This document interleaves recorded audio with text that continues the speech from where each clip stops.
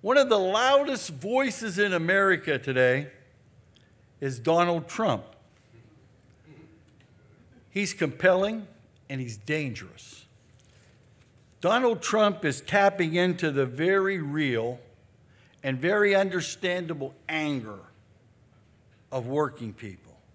His message resonates with some folks. And when he yells and lashes out, he finds a sympathetic audience who wish more politicians would express their frustration that they feel in their hearts. Listen, I know real down home talk uh, when I hear it.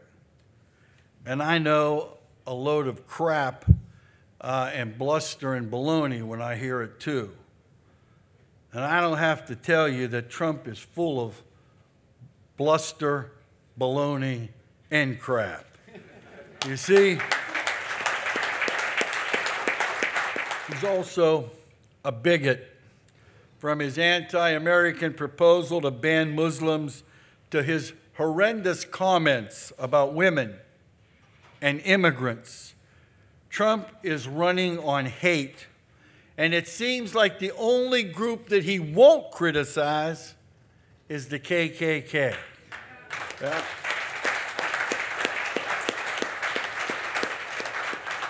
Now, those statements and positions are bad enough and should disqualify him. But what's getting less attention is how Donald Trump really feels about working people, how he feels about us, what future he sees for us. See, that's the untold story of this campaign, a story that we have to share with our members and all working people. Trump said he loves right to work. He said it's better for the people and he's for his position, he said 100%. Meanwhile, he's fighting tooth and nail against workers at his hotel in Las Vegas who have organized, been certified, and all they want's a fair shake at his hotel. But this is probably one of the most disturbing things. Trump says our wages are already too high. Can you believe that? He said, Our wages are too high, that they'll need to be lowered. He also said that outsourcing creates jobs in the long run. And he's advocating the exact opposite of our raising the wages agenda. And I want to give you one more thought to think about for those of you that may be pondering him as a candidate because he tells it like it is. Just look at who he would tap to lead the American economy.